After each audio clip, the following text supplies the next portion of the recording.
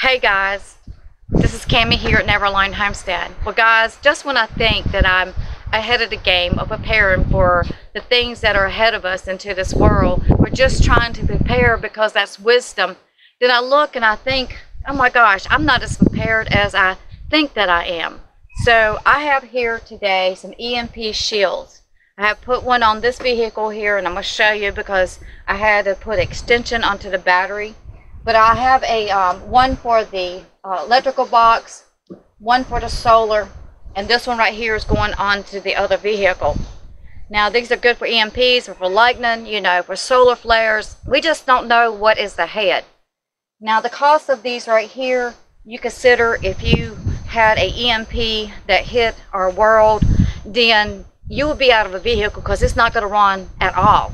So putting investing about $300 in these is well worth it to keep your vehicle running, especially if you're out and trying to get back home. Like me, I have two homesteads, so I'm running back and forth, trying to prepare, trying to take care of this one, trying to take care of the other one. And my concern is, will I be able to get back? And then I'm thinking about the traffic. But the point of it is I can't be concerned about the traffic, other vehicles that can't get home, that are stopped right where they're at, right in their tracks. Can I get around them? But I can't be concerned about that. What I've got to be concerned with is being prepared. Because I have animals here. Of course, you want to get back to the to the home that you live in. So when I look at this, I think this is a very good investment. Um, like I said, just when I think I'm prepared and I'm, I'm, I'm ahead of the game or at the game or, you know, just trying to do the best I can. And, uh, wow, I just had to make this decision. And I think it's a good decision to make sure that you can keep on keeping on. What I like about this is they do give great instructions. You know, sometimes when I order stuff, the instructions like, okay, throw away the instructions, just figure it out. But this comes in color. It's, it's pretty explanatory and then I have one with a solar it explains that my solar's not hooked up but they said that I can hook one of these up to my batteries which I'm going to call them and make sure that you know I'm on the right path and they're they're great about answering any questions that you have the, the customer service is just excellent um, I also have one for the electrical box which is pretty easy but electrical is not my game here I'll, I'll change out an outlet, but when it comes to electricity, I don't know enough to mess with it. So I have called an electrician and I am waiting for them to give me a shout out back. So let me show you what I did on this truck here, how I've had to hook it up because of uh, way my terminals was. So this is your, your negative, and of course the red is your positive. And then you have a green wire which, which, which will be your ground. Um, so for me, I had, because of my, my battery is a side post, I had to use a little extension here because it wasn't enough room. Time I put this, time I put this wire on here, or these wires, there wasn't enough room. And so I had to just add that little extension there. And once that was that took place, it really just took like 10 minutes. I spent more time trying to get this on here about this little metal extension than if I just put the extension on there. I figured it out. I said, gosh, there's just not enough room. So all you got to do is hook up the negative. Um, I, what I did is I unhooked my negative and uh, um, I unhooked uh, the positive, of course, and uh, then I hooked up the positive and then I hooked up the negative. I also had the ground back there hooked up. Uh, you, you, got to find where uh, you're going to hook it to the chassis, where it get good connection. So that's where I could find uh, where I could hook mine up at. Now I have all these wires here and I'm just going to um, put a zip tie on them and put them somewhere. Now right now I got it my my MP shield down there and I will be moving it. Um, I did have it sticking. It, it, was a good place, but then when I tried to close the hood, I realized I couldn't close the hood, and so once I I had it, it has Velcro on the back of it. You can use um, screws to you know screw it in, but I choose to use the Velcro, clean the, the metal off real good, and then um, use the Velcro. Then I realized I can't close the hood. So then I was like, oh gosh. So good place, but a bad place. I took it off, but the Velcro wouldn't stick anymore. I called the um, the company to buy another one. They was nice enough. They're just going to send me another one, and I appreciate that. I was more than welcome to uh, buy another one, but you know that that should come in at any time. So I'm just going to put it another area, possibly down in here. I know the sun is shining this morning, but down there, and see if that works.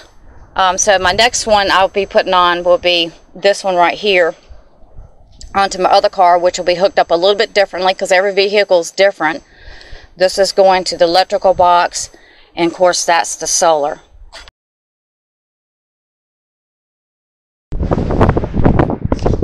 So once you get it hooked up, you want to make sure that this green dot here, this light is lit up green.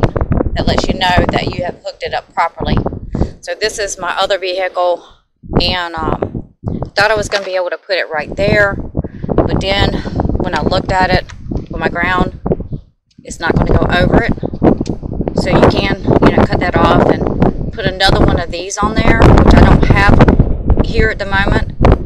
Um, so I'm trying to figure out exactly where, actually where I can hook it up at. Thinking about trying to take that one off. I'm having a little bit difficult time getting it off. Might have to get somebody to help me get that off. But then I looked at this motor and I'm like, okay, where am I going to put this at? So I don't know yet. I'll have to figure out, you know, where I would put it at. But at the same time, make sure that this time that my hood can close completely. Okay, so now this one's hooked up.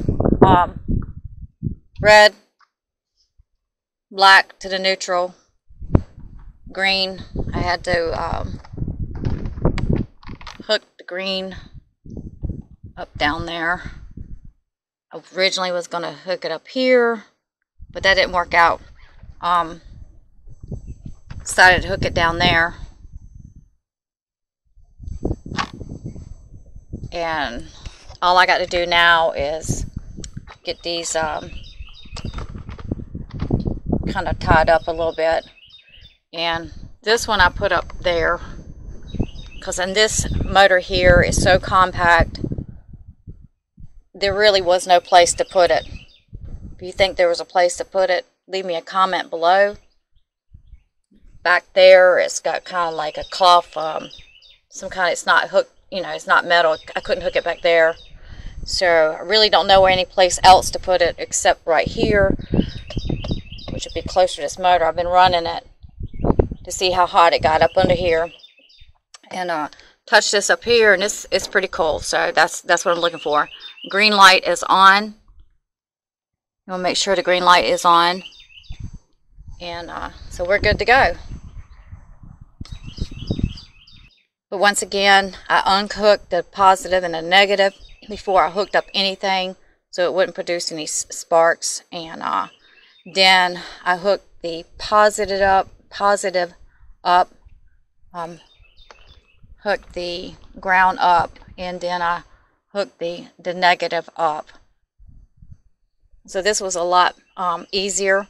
It literally took less than 10 minutes to hook up this e EMP shield. So guys, thank you so much for watching. Um, as always, we just got to be prepared for the unknown. And I, I feel so much better. It was definitely worth the investment to know that um, that this is hooked up in case solar flare, lightning, EMP uh, situation, you know, life-changing circumstances. So I'm really happy about this. It gave me really security. Um, also, I'm kind of telling some other people about it because a lot of people doesn't think about putting a EMP shield on their vehicle. I thought about it months and months ago, but I got so busy with everything, I totally forgot about it.